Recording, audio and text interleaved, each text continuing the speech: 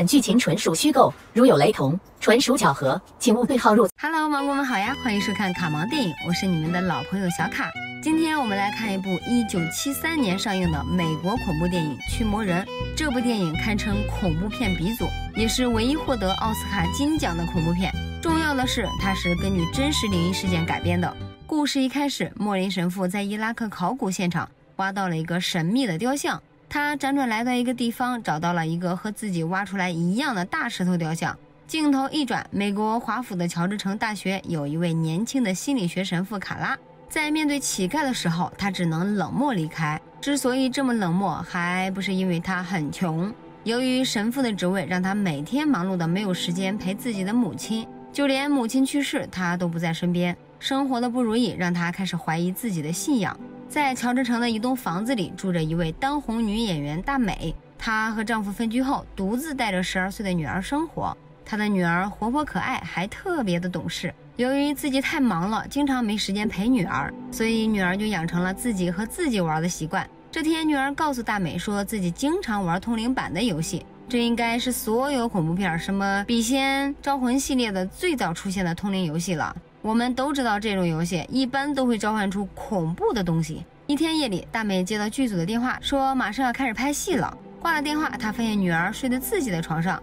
女儿说自己的床会抖动，她睡不着。此时，大美听到房子的阁楼里有动静，她大胆地走上去巡视，发现什么也没有。慢慢的，大美发现女儿变得越来越反常，就带去医院做检查。在医院检查的过程中，她的女儿变得特别的暴躁。从不说脏话的他，竟然多次辱骂医生，还做出奇怪的举动。医生最后给出的诊断是青春期多动症。与此同时，教堂里也发生了奇怪的事情，神圣的玛利亚像被恶搞了。这个特征正是电影开头那个石像的样子。看来恶魔要出来祸害人间啦！晚上，大美邀请朋友和导演在自己家里举行派对，女儿突然走了过来，对着他们说：“你们都会死在这里。”然后自己把自己给吓尿了。大美以为是女儿病得严重，给女儿洗了澡就安慰她睡觉了。刚走出女儿房间，就听到女儿屋内传出声响。走进屋里一看，女儿的床正在剧烈的震动。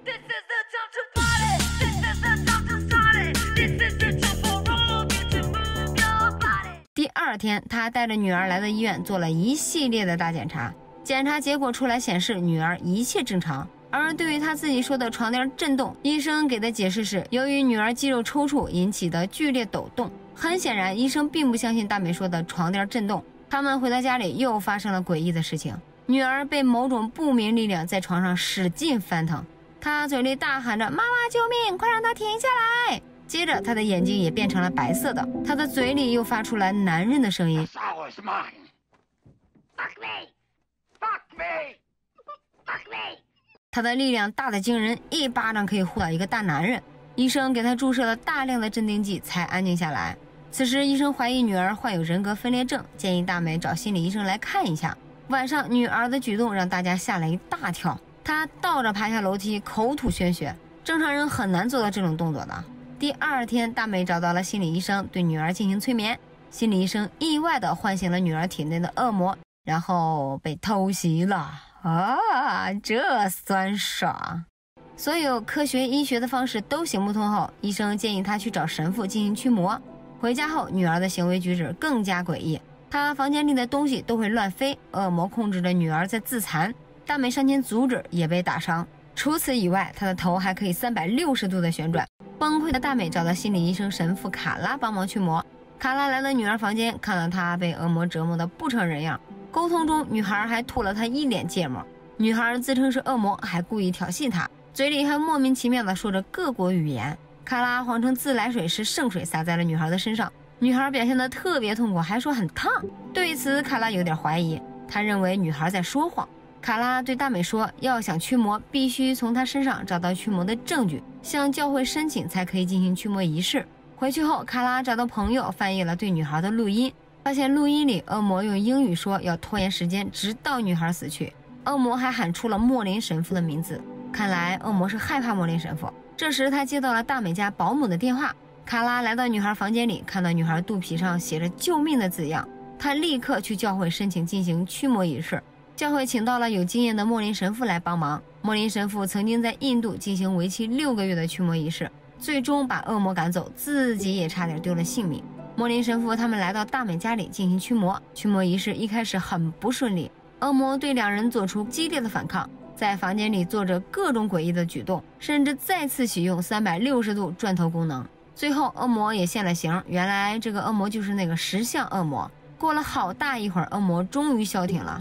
莫林神父吓得心脏病都犯了，他赶紧去吃了药休息一下。第一次参与驱魔的卡拉神父也吓得不轻。这时，恶魔变成卡拉母亲的样子，干扰了他的神智，让他无法进行驱魔。缓过来神儿的莫林神父让他出去休息，自己一个人来驱魔。可莫林神父年事已高，加上自己有心脏病，哪经得起恶魔折腾啊？等卡拉再次进来的时候，神父已经没有了气息，恶魔则是在一边得意的笑。